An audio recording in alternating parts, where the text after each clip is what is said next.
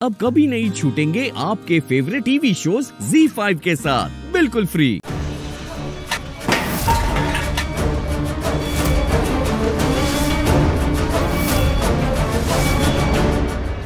देखा तूने? देखा तूने?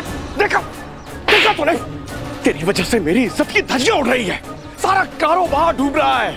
एक छोटा सा काम दिया था तुझे, एक छोटा सा काम, वो भी नहीं होता है। बल्कि ऊपर से सब कुछ डुबा रहा है। नालायक कहेगा।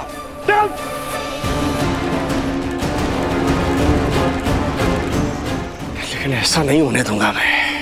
अब मुझे खुद ही सब कुछ करना होगा।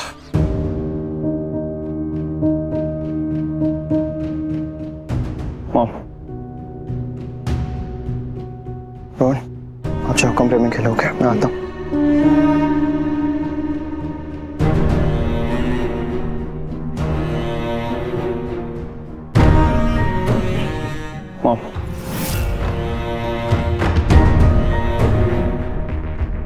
ऋषि क्या बात है पुत्र? क्या कहना चाहते हो? कुछ ऐसा है दादी जो मुझे आप सबको बता देना चाहिए था लेकिन मैंने किसी को नहीं बताया।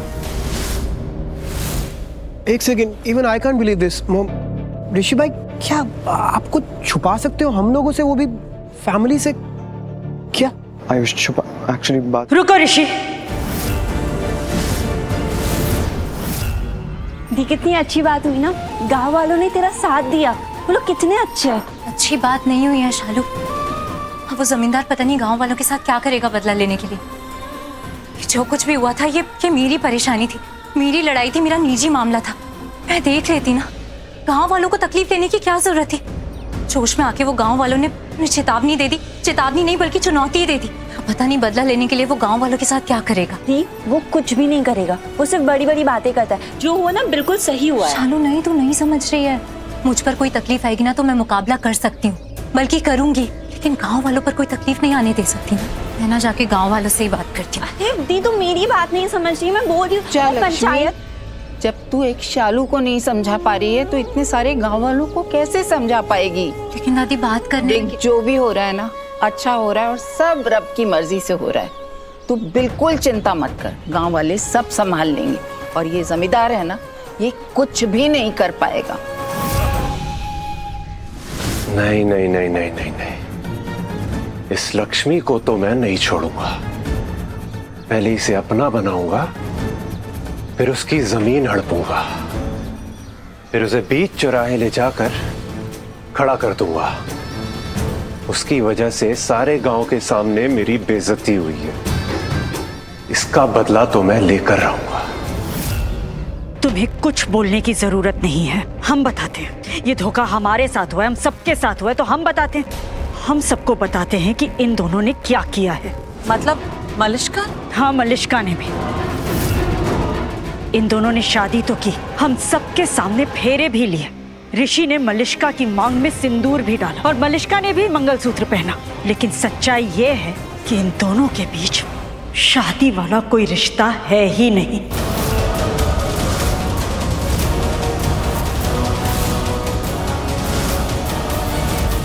इतने साल हो गए इन दोनों की शादी को, लेकिन पति पत्नी जैसा रिश्ता इन दोनों के बीच में है ही नहीं।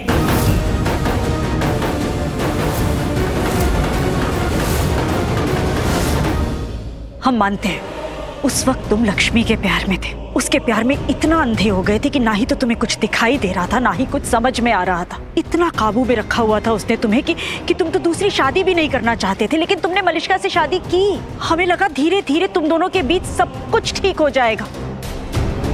तुमने हमें गलत साबित किया, ऋषि। लेकिन ऋषि, तुम तो अभी तक अपने अतीत में ही अटके हुए हो। हमें तो ऐसा लग रहा है कि तुम तुम लक्ष्मी को भूले ही नहीं हो। नहीं भूला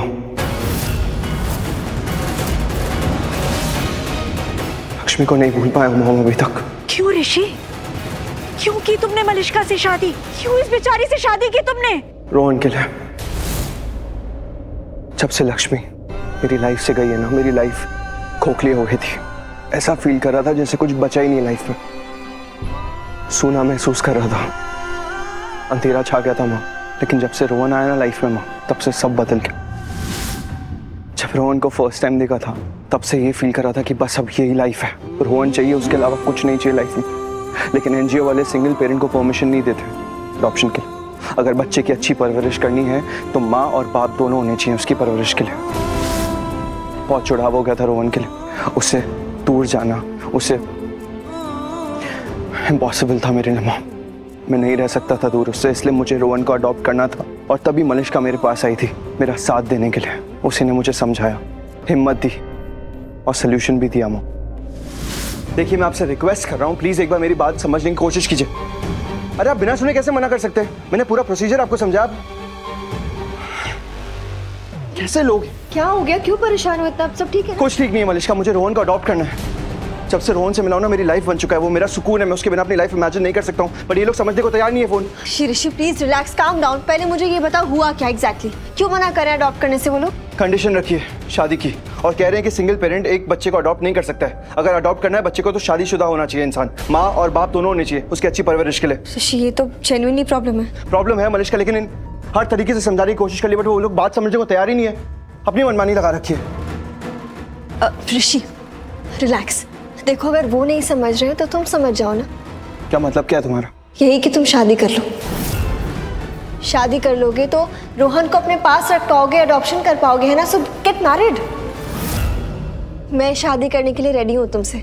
मुझसे शादी करोगे तो रोहन को हमेशा अपने पास रख पाओगे उसे अडॉप्ट कर पाओगे लीगली तो बोलो, करोगे मुझसे शादी? रोहन की भी। अबे, कुछ प्लान सोचो तुम लोग। सारे गाँव के सामने मेरी इज़्ज़त गई है, मुझे बदला लेना है, बदला। और उस इज़्ज़त को वापस लाना है। कुछ सोचो गधो सोचो। सोचता हूँ। भाई कुछ बढ़िया सोचता हूँ।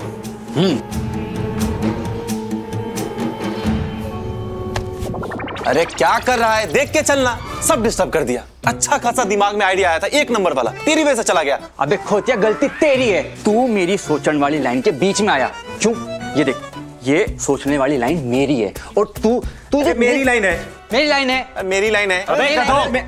आइडिया लाइन से नहीं दिमाग से आता है दिमाग से। तो कोई ऐसा आइडिया सोचो जिससे लक्ष्मी मेरी हो जाए और मैं उसकी ज़मीन को बापू को सौंप दूँ। जिससे कि बापू की नज़रों में मेरी थोड़ी सी हैसियत बढ़ जाए। वरना बापू मुझे गिनती में भी नहीं लेगा। और सोचो तब तक सोचना जब तक आ ना जाए वरना इसी लाइन पे चलकर बाहर निकल जाओ।